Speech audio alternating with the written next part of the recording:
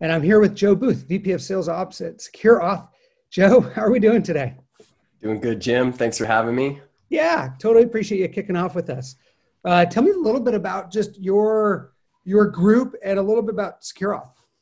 Sure. So SecureAuth's been around since 2005. We're in the cybersecurity space, which is a very broad category of the software industry, and we are focused on identity access management. Uh, we protect remote workforces, which can be internal employees, contractors, partners, and also customers of those companies. So I think the easiest way to describe what we do is to just hold up my cell phone for a moment. so right now, everybody is getting used to this uh, this new system of what we call multi-factor authentication. You know how when you try and log on to a website, it sure. your phone now, it sends you a, a one-time passcode that you would then enter in, and then it validates that you either are who you are or some sort of uh, form of credentials. So that's the space that we're in, IAM, Identity Access Management. So there's a ton of behind the scenes technology that goes on to make sure that you are the right person that you say you are, that you have the telephone, that it's not the stolen device, uh, yep. that's not stolen credentials. So that IAM space really hot, not only for consumers, but also for internal workforces. And that's what we do. Love it. I use it all the time, getting those pings. What I wanted to go deep on today, Joe, with you is really something we haven't done before, where we're going to look at the data specifically in the security segment and what we're seeing in terms of change sales processes and just the signals out there. So we'll go through kind of urgency and sort of how sales has changed and what the data is showing us. And then just love to get your thoughts on uh, the impacts to your team and how you've changed the motions and coaching and, and some of those areas. Sound good? Yeah, that sounds great. So we'll, we'll jump in on the signals and uh, of urgency and sort of the fast responses we've seen in security. I'm curious when, when when you think about the whole workforce moving remote, what what strains has this put on uh, uh, you know companies from a security perspective? A complete vulnerability. If companies did not already have the necessary provisions, then they were exposed at a scale that they never have been at before. And I think this was a wake up call for a lot of executives that had either been ignoring their CIOs or ignoring their chief information security officers for years uh, we always hear about breaches. We always hear about another company getting popped. And the people that are on the front line of that, the security analysts, the security professionals within these companies, uh, they know these threats are very real. It's not only your company's brand reputation, but it's also a lot of revenue that's asked, that, at, that is at risk.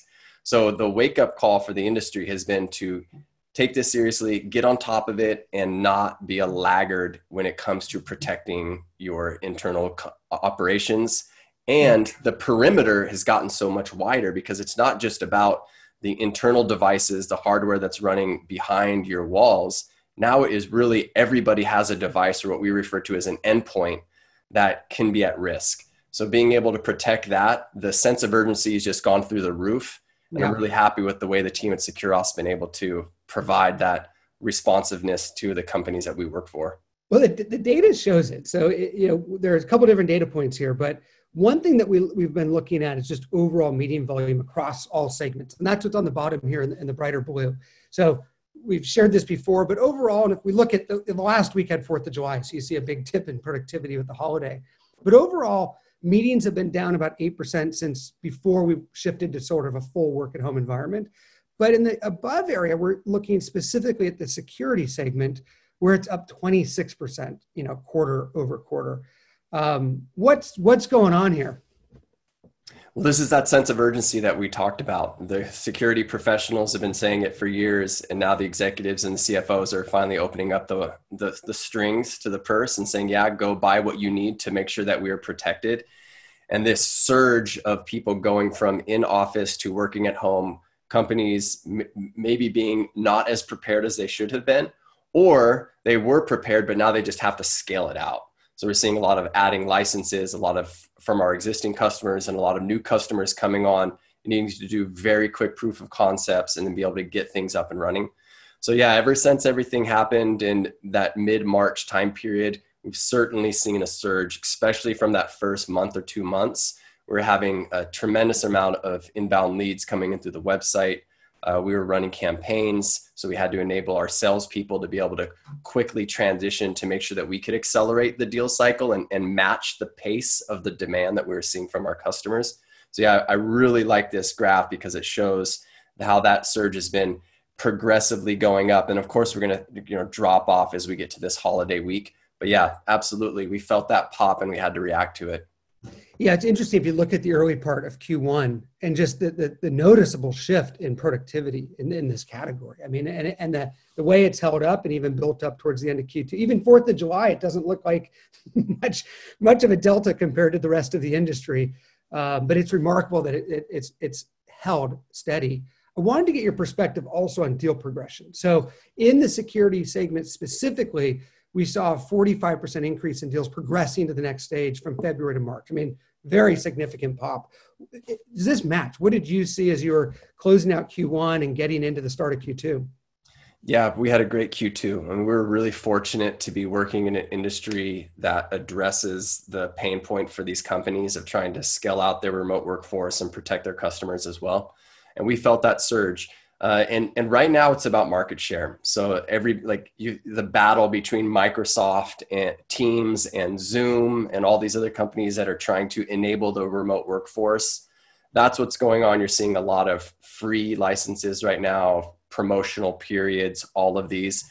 And we jumped right on that bandwagon. We wanted to make sure that people had access to the security that they needed for the entire year without having to pay a dime. And then come the end of the year, if they want to renew and sign a contract, one to three year contract, then we, you know, we have an option for that. Uh, but the nice thing is when you think about the deal progression is uh, two things happened to us. We had a surge of net new opportunities, right? When all of this started yeah. popping off. But some of our customers and prospects in industries that were hit harder, like travel and hospitality, those deals just went away Mm-hmm. So we had to backfill with these net new opportunities. So there was a, a, little bit of a balancing act there between late stage deals in the industries that were impacted and new opportunities for companies that were trying to ramp up from their work from home security situations. So tell me a little bit more about the free, you mentioned your a free license program. I'm curious how that's been working. And, and now that we're a little bit later in the, in the process, what are you seeing from that?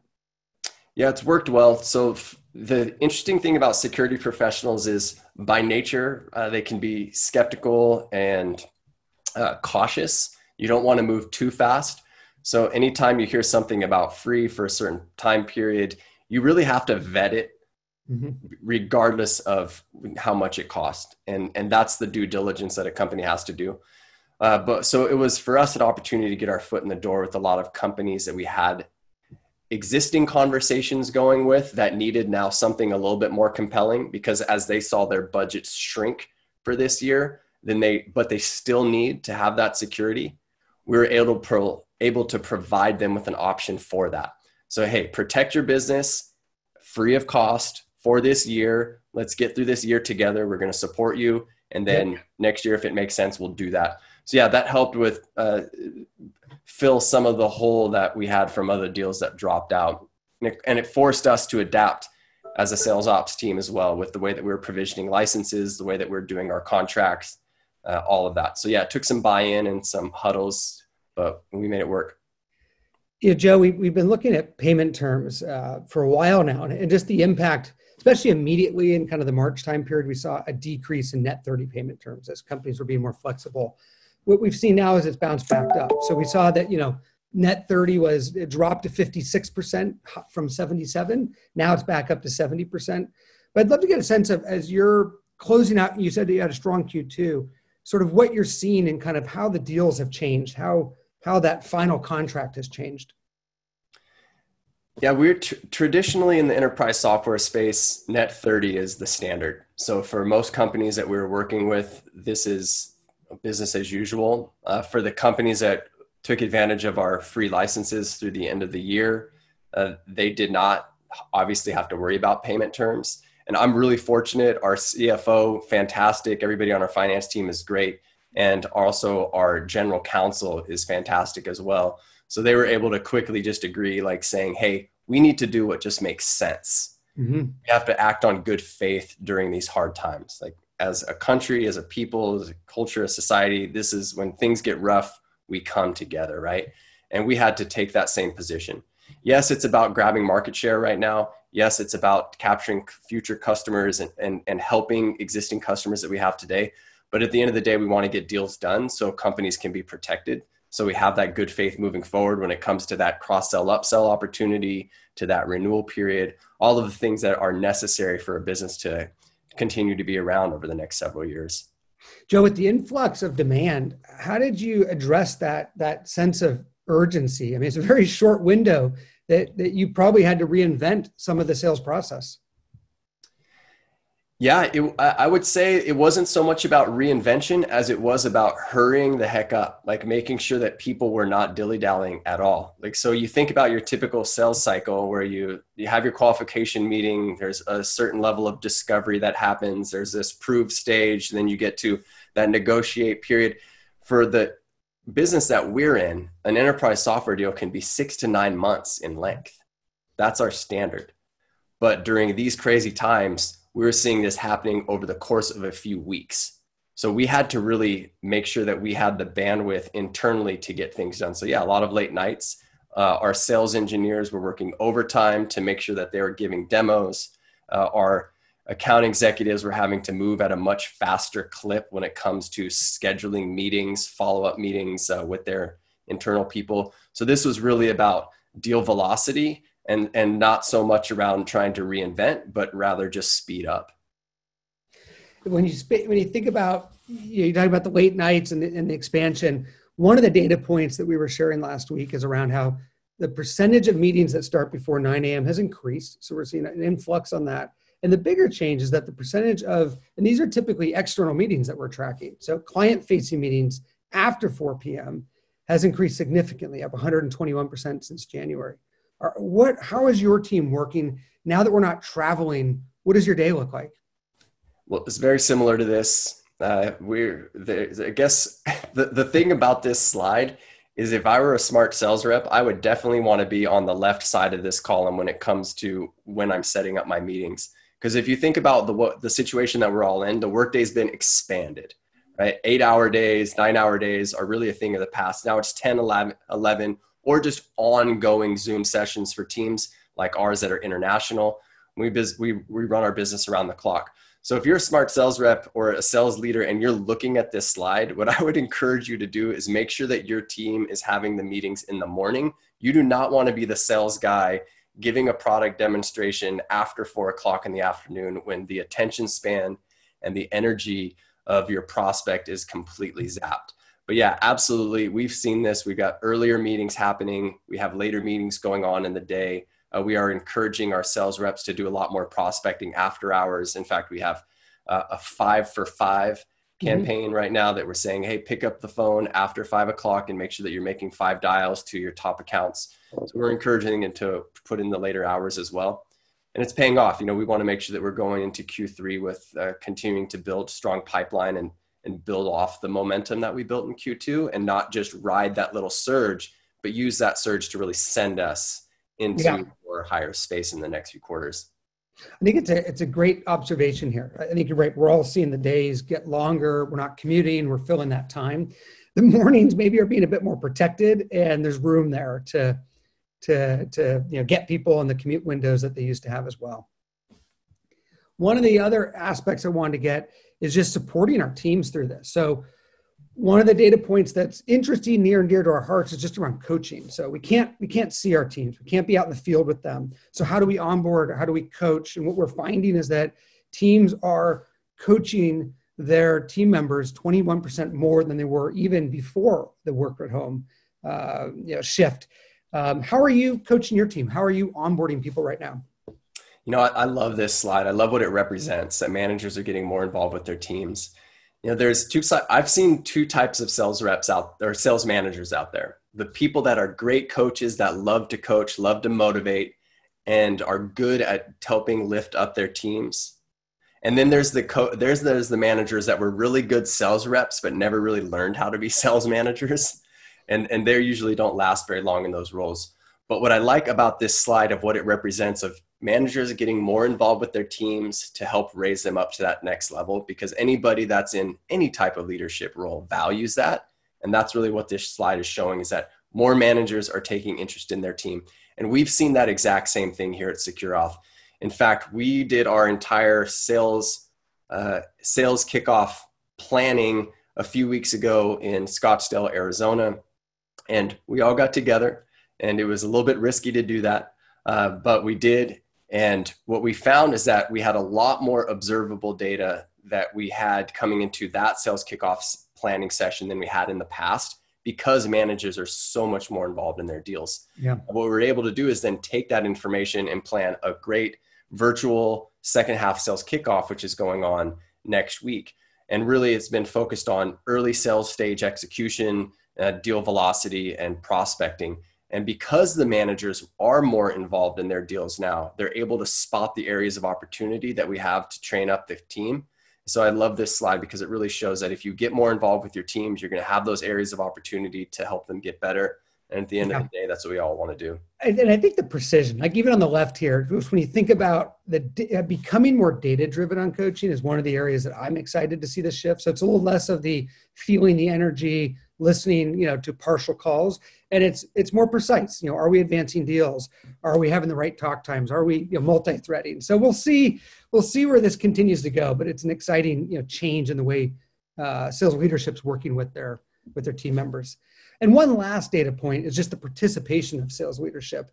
And now this data point is specifically looking at the security segment where we saw a big pop from February to March. It's dropped a little bit, but overall, it's a, it, the change is only 12% since kind of pre work from home pre COVID.